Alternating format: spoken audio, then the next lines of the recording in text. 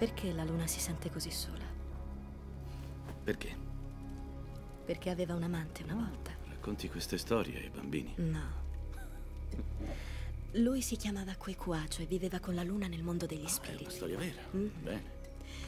E ogni notte vagavano insieme per il cielo. Oh. Però uno degli spiriti era geloso. Mhm. Quell'imbroglione voleva la luna tutta per sé. Così disse a Quequacio che la luna voleva dei fiori. Mm. Gli disse di venire nel nostro mondo e raccoglierle delle rose selvatiche. Ma Quequacio non sapeva che una volta lasciato il mondo degli spiriti non sarebbe potuto tornare.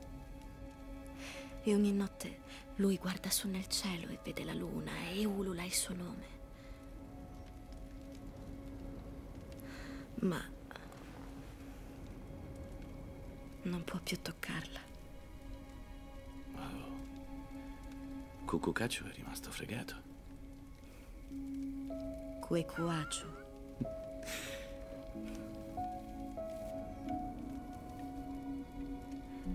Oppure Wolverine.